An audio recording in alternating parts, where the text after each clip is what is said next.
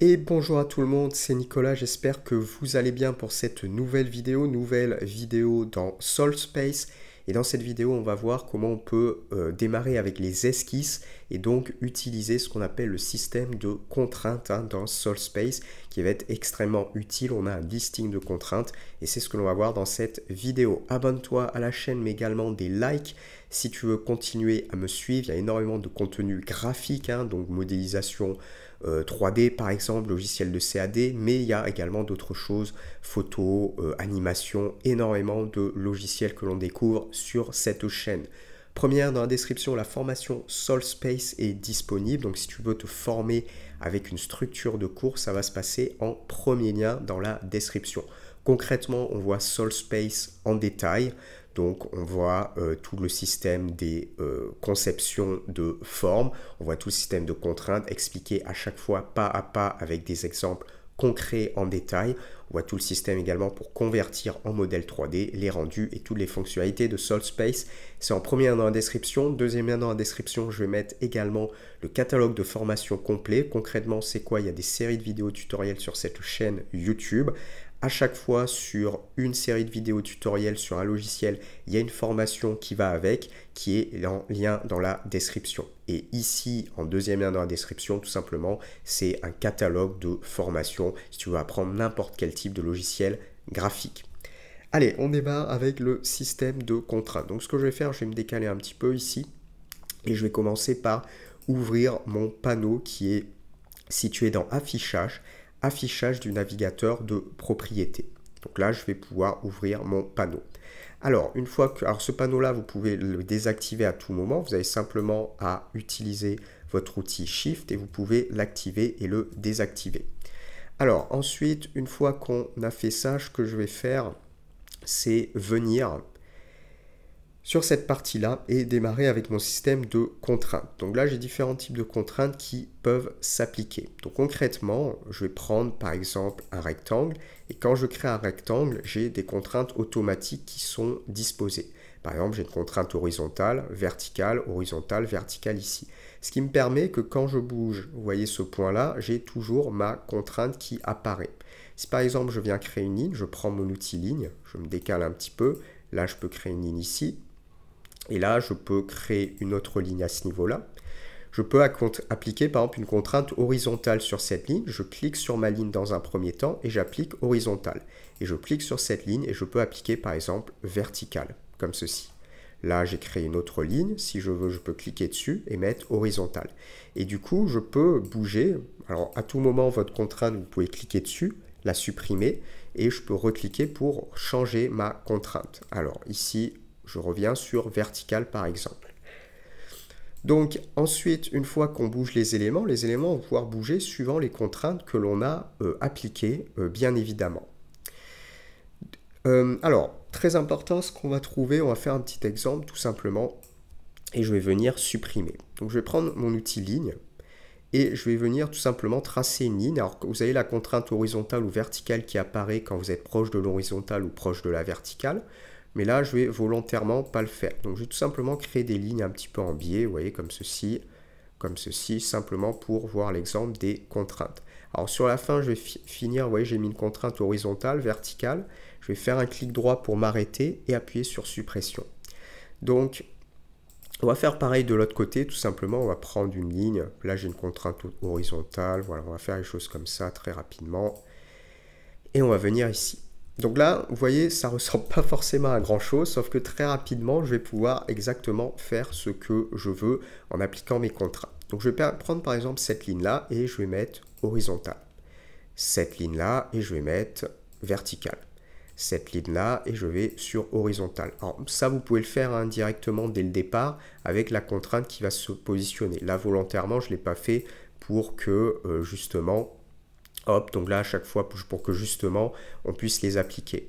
Là je vais cliquer ici, donc là j'applique horizontal, vertical par exemple dans un premier temps. Donc là vous voyez ça commence déjà à ressembler à quelque chose d'un petit peu plus intéressant. Alors ça dépend bien évidemment de ce que l'on veut faire. Maintenant, contrainte très importante, ça va être notre contrainte de longueur. Donc dès que vous voulez appliquer une longueur, vous allez ici. Donc je clique sur cette ligne. En fait, je vais pas le faire, je vais le faire que d'un côté, pour la simple et bonne raison que de l'autre côté, je vais pouvoir mettre longueur égale. Donc je vais cliquer ici et je vais mettre une contrainte. Et là, on va mettre par exemple une valeur. Donc je vais mettre 80. À partir du moment où j'ai mis ma valeur de 80, je peux tirer ce point sur la gauche, ça ne va pas bouger parce que j'ai 80 et ça fonctionne comme une contrainte. Donc je ne peux pas réduire ou dépasser. Si je veux réduire ou monter, il faut que je clique sur ma contrainte, je la supprime avec la touche suppression et maintenant je peux me décaler. Là, je vais cliquer sur cette ligne et ici, on va mettre une valeur de 80. Alors ensuite, on va cliquer sur cette ligne, on va rentrer une valeur. Donc je vais mettre contrainte distance. Alors ça fonctionne aussi sur les rayons, euh, sur les diamètres, euh, les arcs, hein, ça fonctionne aussi. On va mettre une valeur, par exemple 30. Ensuite, je clique sur cette ligne, on va mettre une valeur. Alors on va mettre par exemple, allez, on va mettre 30 aussi. Là, je clique sur cette ligne, je vais mettre une valeur. On va mettre, allez, on va augmenter un petit peu, on va mettre 40 sur cette zone. Là, je clique ici, je vais mettre une valeur, on va mettre, allez, on va mettre 35. Et ici, je vais mettre une valeur. Allez, on va mettre, euh, on va mettre, allez, on va augmenter un peu, on va mettre 40. Donc là, vous voyez, j'ai fait ma partie de gauche. Et maintenant, quand je bouge les points, vous voyez que rien ne bouge. Pour la simple et bonne raison que j'ai mis mes contraintes de valeur. Donc maintenant, on a quelque chose qui est fixe par rapport à ça. Maintenant, de l'autre côté, vous voyez, ça bouge parce que j'ai pas mis mes contraintes de valeur. Donc si je veux la même chose, ben, tout simplement, je vais mettre, soit je peux remettre les valeurs, bien évidemment, soit j'ai la possibilité tout simplement de mettre ce qu'on appelle contrainte euh, ici, qui est la contrainte égale. Alors là, vous allez trouver contrainte par exemple parallèle. Ici, on a ce qu'on appelle la contrainte égale, donc on va cliquer sur celle-ci. Alors pour activer votre contrainte égale, il faut sélectionner les deux entités. Donc par exemple, prenez deux lignes et vous activez la contrainte égale. Là, je clique sur cette ligne et sur cette ligne et je vais mettre égale. Je vais cliquer sur cette ligne et sur cette ligne, je vais mettre égal. Cette ligne-là et cette ligne-là, et je vais mettre égal également. Cette ligne-là et cette ligne-là, je vais mettre égal. Donc à chaque fois, je vais prendre l'équivalent de la même ligne et je vais appliquer la valeur égale. Cette ligne-là et cette ligne-là, et je vais appliquer égal. Là, il va me mettre contrainte redondante, je valide. Et euh, je vais continuer, donc là, égal, égal. Et ici, on va cliquer sur cette ligne alors ici, en fait ici j'aurai forcément la contrainte euh, égale vu que tout le reste est égal. Et du coup là j'ai la même chose des deux côtés tout simplement comme ceci. Alors après on aura d'autres types de contraintes, par exemple vous pouvez tracer si j'appuie sur W pour me recaler ici, vous pouvez par exemple tracer deux lignes, admettons, je crée une ligne ici. Et alors là, il faut faire le clic droit pour venir s'arrêter avant de créer une autre ligne. Là, je vais reprendre mon outil ligne. Je fais un clic gauche, un clic droit. Et ce que je vais faire, je vais cliquer sur la première, cliquer sur la deuxième, et je vais appliquer la contrainte qui est située ici, parallèle. Et là maintenant, mes deux lignes sont parallèles, ça veut dire que je peux bouger ce point-là. Vous voyez, l'autre point va venir bouger.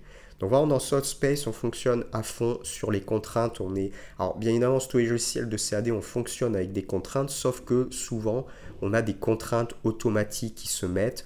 On a un, euh, usage de grille, on a directement des dimensions qui peuvent s'appliquer, ça peut fonctionner différemment. Là, vraiment, dans Space, on est à fond sur les contraintes. Donc, il y a des avantages, il y a des inconvénients avec ce système-là.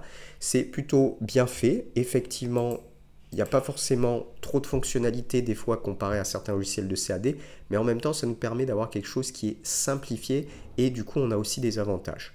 Là par exemple j'ai créé cet élément là, je peux faire une extrusion, je clique ici et tac, une extrusion.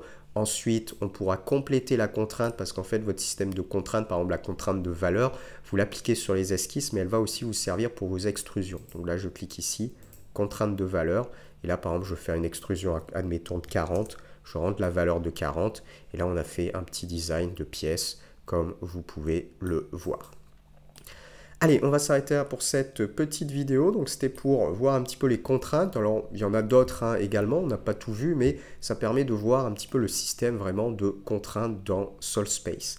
Si tu as aimé, abonne-toi à la chaîne, mais également des likes. Je vais aussi en premier lien dans la description la formation complète euh, SolSpace. Donc si tu veux te former avec une structure de cours étape par étape, ça va se passer en premier lien dans la description.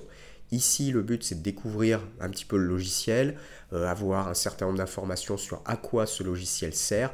Maintenant, pour voir vraiment tout en détail, ça se passe en première dans la description avec la formation complète qui permet pas à pas, avec une structure de cours, on voit tous les outils un à un, on voit toutes les contraintes un à un avec à chaque fois des exemples concrets, le système pour ensuite créer des modèles 3D et toutes les fonctionnalités. Tu peux aussi t'abonner à la chaîne, mettre des likes et continuer ainsi à me suivre pour découvrir par exemple d'autres types de logiciels ou simplement pour ben, continuer à euh, explorer du contenu graphique. Et puis sur une autre, euh, pour une autre vidéo, je dis à bientôt. Bye, ciao, ciao.